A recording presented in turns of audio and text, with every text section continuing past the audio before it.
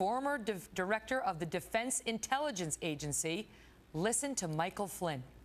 as a as a military officer, if I said I was doing something for convenience sake to my to the soldiers that I was leading, and it was solely to for my convenience instead of their, you know, uh, their their uh, welfare, uh, I, I should be relieved of duty. I would expect to be fired.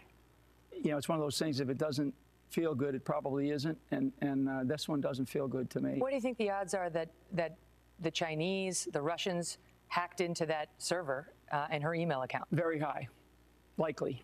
Really? Yep, likely. They're very good at it. Those two countries, you know, China, Russia, Iran, uh, potentially the these are countries, and, and other countries who, who, uh, who may be, you know, quote unquote, our allies because they can. So But she says the server was always at the house and under, you know, protection by the Secret Service, at least the physical server.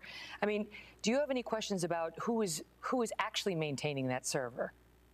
I think we all ought to be asking that question. I mean, it's so if it's, if it's a government, if the BlackBerry's government and she did everything, I mean, everything that a person in that level of responsibility touches who's in the government, everything belongs to the government for the most part. I mean, if, if you're using a, a government device to do personal things, I mean, I just think that that's, that's what you do, and you accept that. And if somebody's doing things, you know, if somebody's sending you stupid things, you tell them to stop. Uh, but if you're using one device and it's personal and professional, you know, then nothing's personal. Well, is there any way she could have adequately protected that in the way that it's protected if it's at the DIA, you know, or the CIA or at the Secretary at the State Department, a server like that? Oh yeah, absolutely. So she, so maybe she did. So maybe that Maybe, maybe, it was secure, Yeah, maybe she did. and maybe, it was not hacked by anybody, Yeah, maybe maybe not. Maybe not. And you're mean, I, I just, I just, you know, I just know how these enemy, I know how our adversaries work. I can sleep at night with what I was responsible to do and what I was asked to do and how I was asked to act.